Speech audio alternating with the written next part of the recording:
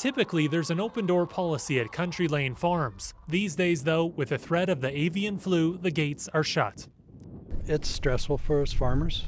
That's why we're out here in the cold and not inside my warm shop. Only the farm manager is allowed inside the barns. That's it, just one person. We're doing our best to keep it out. The avian flu circulates almost every year, but this strain, known as H5N1, is especially transmissible. This particular strain is very severe because we're seeing it impact wild birds.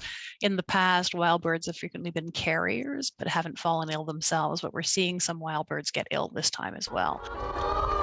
The avian flu is already hitting Europe and the US hard, killing 20 million birds south of the border, at the same time putting a dent into the supply of chicken and eggs and driving prices up your morning breakfast price is going up all the way from the eggs, but to the bacon and the toast and everything else. As wild birds migrate north for the spring and summer, positive cases on farms are climbing. There are more than 30 across the country, resulting in 500,000 birds killed or euthanized.